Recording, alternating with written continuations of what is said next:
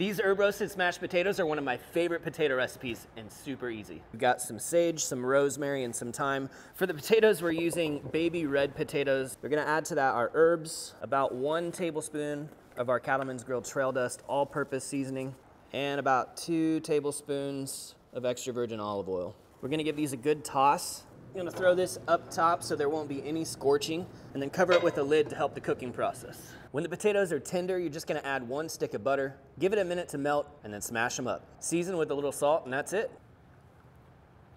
Mmm.